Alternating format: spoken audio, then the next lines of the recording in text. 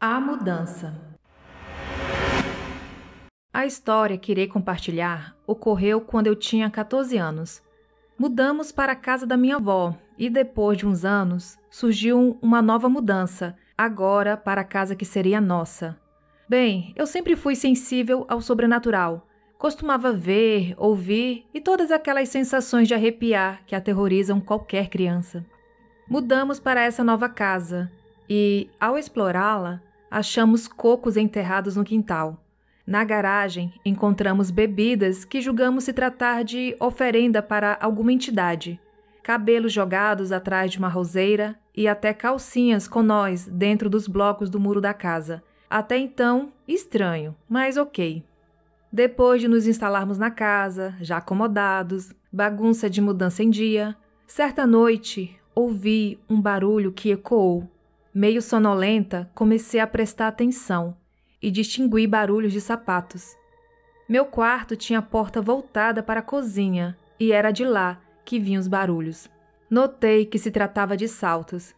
Pensei: o que a minha mãe faz uma hora dessas andando para lá e para cá com esses saltos? Que barulho chato! Até que me liguei do que se tratava. Na época eu tinha um rádio relógio que também me rendeu outra história e vi que pela hora não poderia ser a minha mãe. Me apavorei e não era mamãe mesmo. Nesse momento, senti que algo entrou no meu quarto e parou ao lado da minha cama e ficou me observando com uma respiração pesada. Enquanto isso, meu coração estava quase estourando no peito.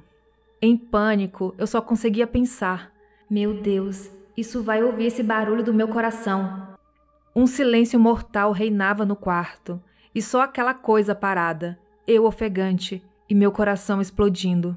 Parecia que a coisa queria me pegar. Disparei a rezar. Rezava e nada. Meu desespero só aumentava. O ar já me faltava, pois havia me cobrido por inteiro, temendo que aquilo me tocasse.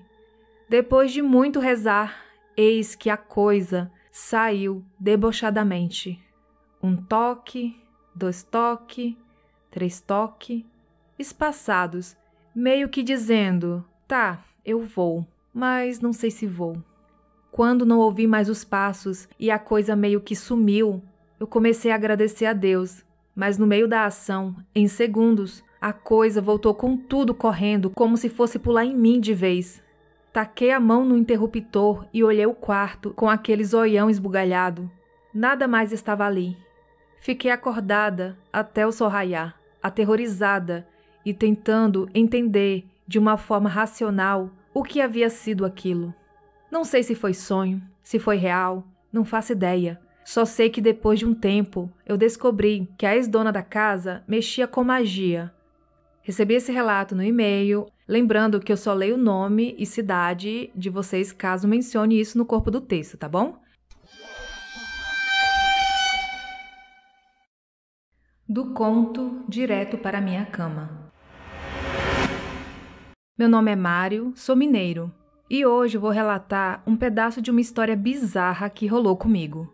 Eu estava na adolescência e, em uma noite, deitado no meu quarto, sozinho, eu estava lendo um livro chamado Sete Ossos e uma Maldição, de Rosa Strauss.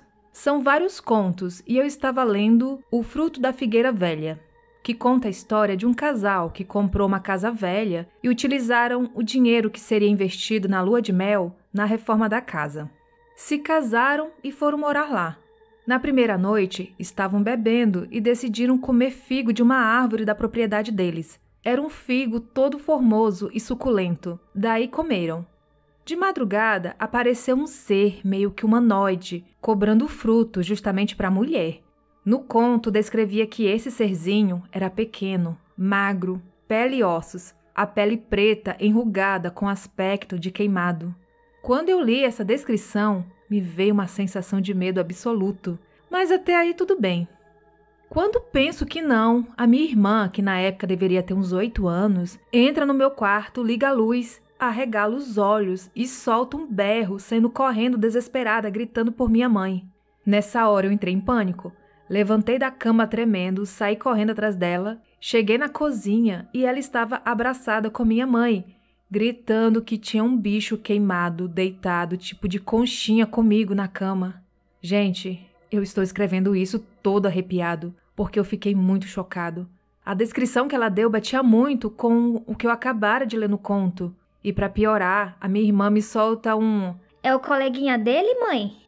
Coleguinha não é um amigo vivo. É porque uma vez um senhor, tipo aqueles benzedores de roça, me disse que tinha alguém que me acompanha por conta de dívida de vida passada. Enfim, se quiser, eu envio outro relato.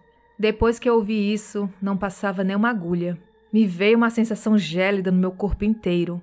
A minha mãe tentou nos acalmar, dizendo que não era nada, que estávamos impressionados. Não falei nada sobre o livro que eu estava lendo. Apaguei ele do meu celular, acendemos velas para nossos anjos e segui a vida. Mas essa história nunca me saiu da cabeça. Recebi esse relato no e-mail.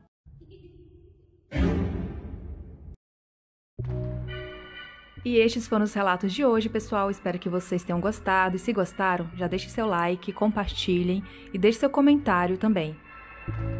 Eu decidi postar menos relatos, que aí eu consigo postar todos os dias. Então, se você achou que o relato é curtinho, você pode acessar a playlist aqui, História de Terror.